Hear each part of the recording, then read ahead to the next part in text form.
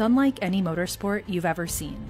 Sidecar racing involves two people operating a three wheeled motorcycle that can go over 160 miles per hour. While one person sits behind the throttle and brake, the other uses nothing but their body weight to help steer the vehicle. This requires a degree of acrobatics you don't often see in motorsports.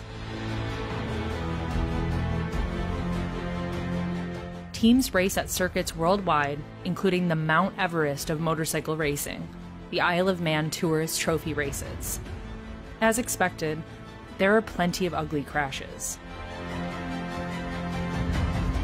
Since 2000, 10 sidecar racers have been killed during different stages of the competition.